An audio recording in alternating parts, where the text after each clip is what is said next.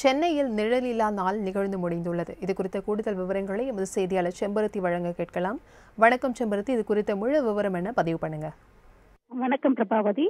இன்று முதல் தமிழகம் முழுவதும் வருகிற செப்டம்பர் மாதம் இருபத்தி ஒன்றாம் தேதி வரையிலும் தமிழக நிழலில்லா நாள் ஒவ்வொரு நாளும் ஒவ்வொரு மாவட்டங்களில் தோன்ற இருக்கிறது குறிப்பாக ஒவ்வொரு வருடமும் ஏப்ரல் மாதம் மற்றும் ஆகஸ்ட் மாதங்களில் நிழலில்லா நாள் நிகழும். அதன்படி கடந்த ஏப்ரல் மாதம் ஏற்கனவே இந்த நிழலில்லா நாள் இந்த வருடத்தை தொடர்ந்து ஏற்கனவே கடந்து முடித்திருக்கிறது.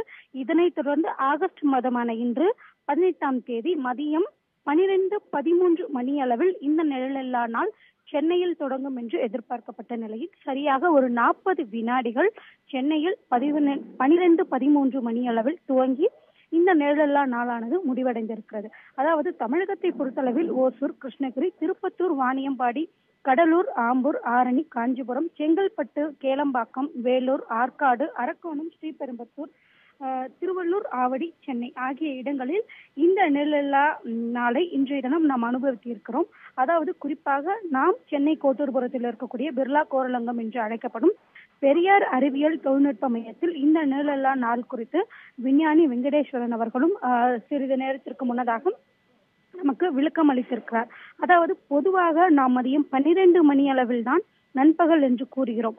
ஆனால் இதை எல்லா இடங்களிலும் பனிரெண்டு மணிக்கு செங்குத்தாக இருப்பதில்லை. இதனை விளக்கும் வகையில் தான் இன்று முதல் செம்பருத்தி தொடர்ந்து இணைப்பில் இருங்க. ஒரு அண்மை செய்தியை பார்த்து வருகலாம்.